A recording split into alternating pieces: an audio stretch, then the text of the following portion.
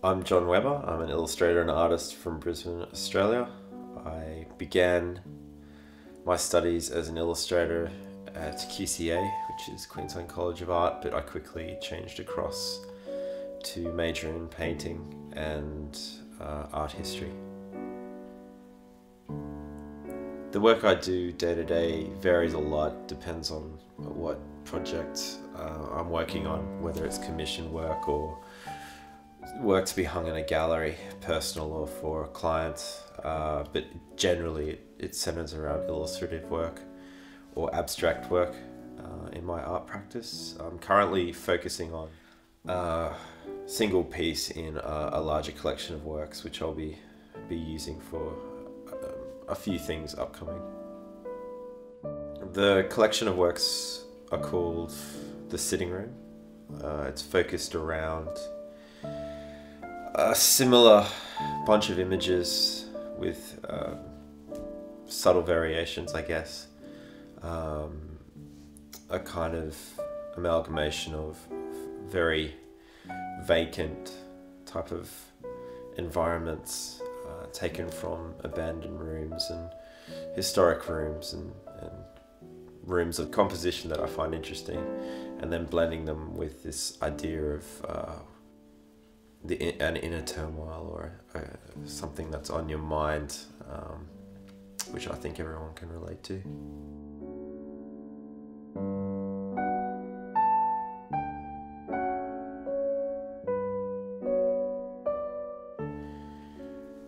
I think, yeah, I just learned with series um, concepts to really control the idea a lot more in terms of what comes across from your perspective to the viewer rather than the other way around, which kind of led on from um, something I learned from my lecturer, painting lecturer Pat Hoffie in QCA, where she sort of said, "Oh, unless you got something to tell me, I don't want to. Why would I look at this? I'm not going to waste my time with you. I'm going to look at someone that is there to tell me something I don't know." And that kind of reverberated with me a lot, and it was a good point because up to there, we all we're sort of saying, "Oh, it's up to the viewer. It's up to up to the viewer," and it's it's not. Um, you're there to actually come up with something that is is both yours, but it's it's ours. But I'm telling it to you, um, not in an egotistical way. It's just something that you know is specific that only you can you can do. So I think you definitely have a responsibility to almost be a mouthpiece in, in the works rather than just a, a tool for the audience.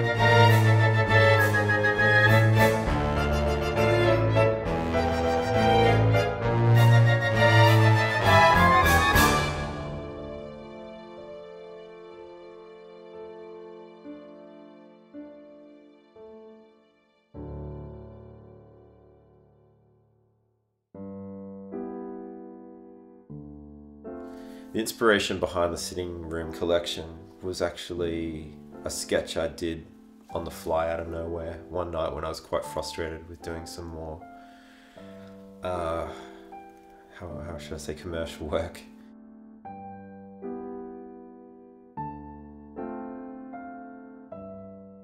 More and more, I'm kind of interested by looking into um, source material and, and twisting that with my own vision to sort of come up with something. Um, and that, that goes across everything actually. I've been really looking at lighting and anatomy and things like that to, to kind of create more drama in the work. But in terms of stylistically and how everything looks, uh, I was getting really interested in in particularly traditional forms of um, mark making and illustration, like etching and and getting back into classic comic art and stuff like that. So I was kind of looking to combine my abstract practice with my illustrative ones and reflect places that I wanted to sort of be in or in a dreamlike state sort of thing. It was just kind of a, a merging together of the different sort of stylistic ideas that I was beginning to get back into or was fresh.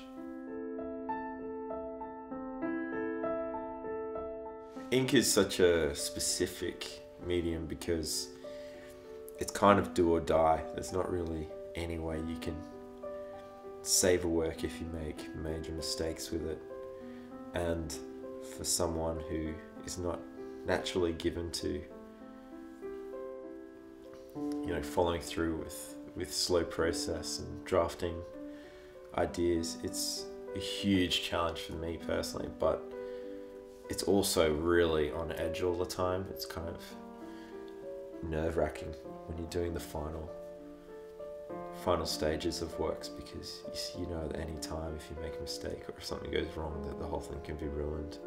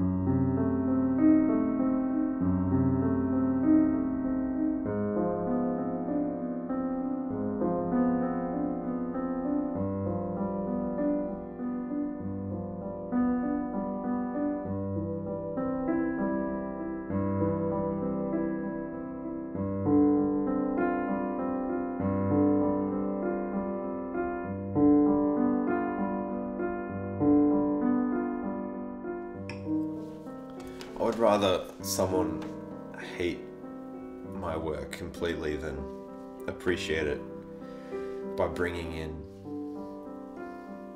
things purely to enjoy it for their own reasons, um, which have nothing to do with how the work was intended.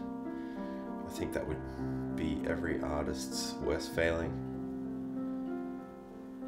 It's kind of like when someone asks a question and all they really want to do is answer it themselves. I, I hate that.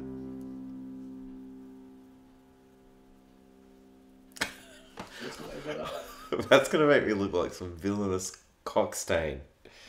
But yeah, maybe we can pop that. Maybe we should do it again, but you have your jacket just not, not on, but draped over your shoulders. Yeah. You go. That would be my worst nightmare.